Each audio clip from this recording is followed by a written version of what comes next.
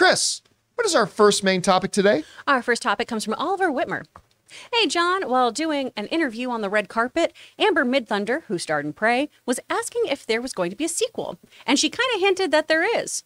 I know you weren't sure if there would be one or not, but do you interpret her as saying there will be, and do you think there should be? Thanks. All right, Oliver, thanks a lot for saying that in.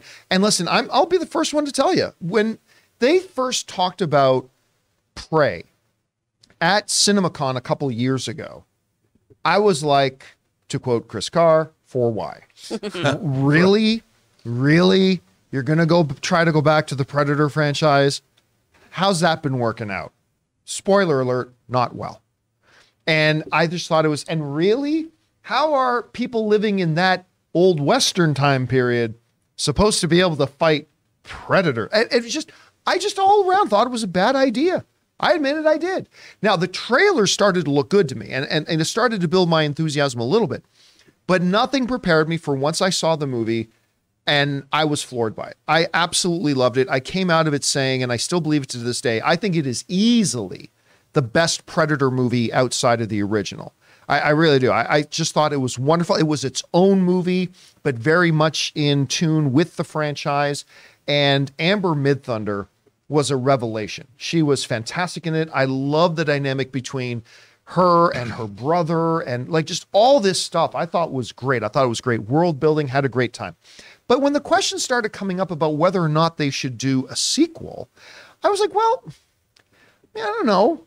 Is what's there left to do? I mean, the one guy came, got his ass kicked, and now we moved on. But when you have the success that it had, you got to talk about it. And sure enough, I think it was on the red carpet of the Critics' Choice Awards. Uh, it was the reporter from Variety stopped Amber Midthunder and asked her, Hey, are we going to get a Prey sequel? And this is what she had to say. She said the following I don't have a date for you. This is not an announcement. She was being very coy, by the way, when she's speaking. You got to see the video. This is not an announcement, but I'm not saying it's not. We talk all the time about a lot of things, and that's probably one. I'm ready. I love that experience. I love that movie, and I would be happy to, you know, see where else we can take it. And of course, that was Amber Midthunder. Guys, I have to stress if you can find the video for it of her actually talking about this, she's like kind of she's the only she's just stopping short of going like that's that's the only thing she didn't do for those of you listening to the podcast i just made a big wink that's all she didn't do but she was basically saying to the world like you're asking me how did i interpret her words she's saying there's going to be a sequel should there be a sequel i often talk about sequels needing at least one of two things number one which is what most people think about which is does the story kind of ask for a next chapter? Right? That's what most people normally focus on. And I would say in the course of in the case of Prey, no. The story is not asking for another chapter, to be honest. It was a great movie, started, and ended. But I believe there is a second thing that can really hook people into a sequel that is often overlooked. And that is do I want to spend two more hours with that character? I, I said that about um, you know, uh, the Hangover. Now, Hangover 2 didn't work out to be very good, but when they were coming out with Hangover 2, it's like, you know, do they need to do another Hangover? No, they don't. But I want to hang out with those characters yeah. some more. That like the only reason Supernatural lasted 15 seasons is not because it had Pulitzer Prize or winning writing. It was I loved the characters, and every week I just wanted to hang out with the characters.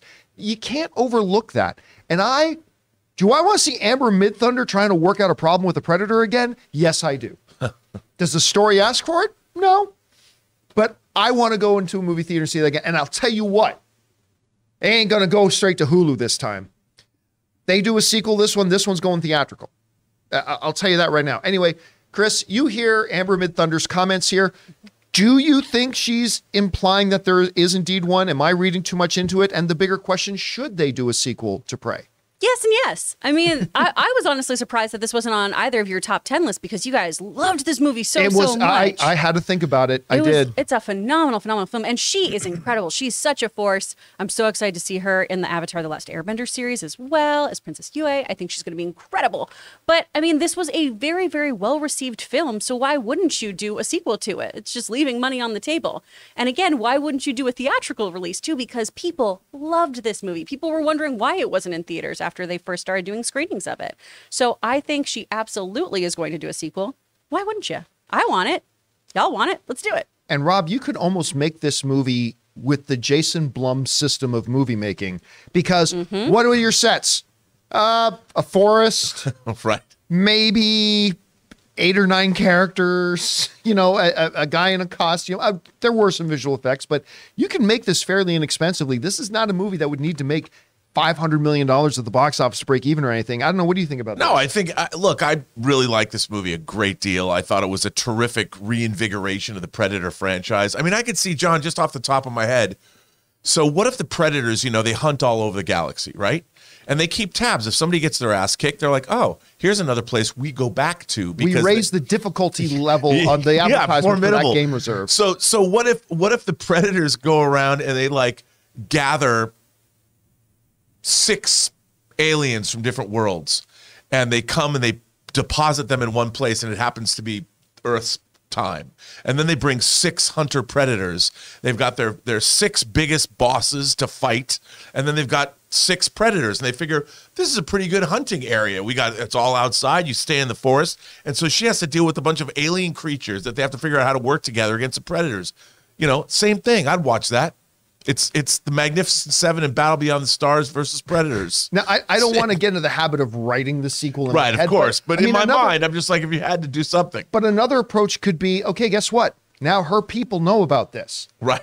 And they got to figure out if there's one, there could be more, and they prepare for it. And I like your idea. They send like instead of a one solo hunter, maybe three of them come, but it's like several tribes of people fighting against like three or four predators. I mean, that could be pretty damn Or too. or the Predators get to pick their favorite combatants and team up with them. So she has to team up with a predator against other predators and their teammates.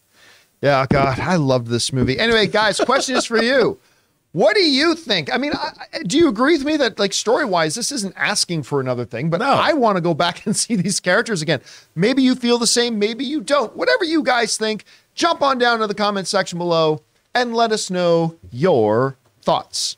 Guys, we want to thank a sponsor of this video, Mint Mobile. If saving more and spending less is one of your top goals for 2023, why are you still paying insane amounts of money every month for your phone bill? Switching to Mint Mobile is the easiest way to save money this year. As the first company to sell premium wireless service online only, Mint Mobile lets you order from home and save a ton with phone plans starting at just $15 a month. Guys, I have told you before that when I was on one of the major phone carriers, I was spending literally three times as much every month, and switching to Mint Mobile couldn't have been easier. So for people just looking to save some extra money this year, Mint Mobile offers premium wireless for just 15 bucks a month. All plans come with unlimited talk and text plus high-speed data delivered on the nation's largest 5G network. You can use your own phone with any Mint Mobile plan and switch easily in just minutes with eSIM. To get your new wireless plan for just 15 bucks a month and get the plan shipped to your door for free, go to mintmobile.com slash Campea. That's mintmobile.com slash Campea. Cut your wireless bill to just 15 bucks a month at mintmobile.com slash Campea.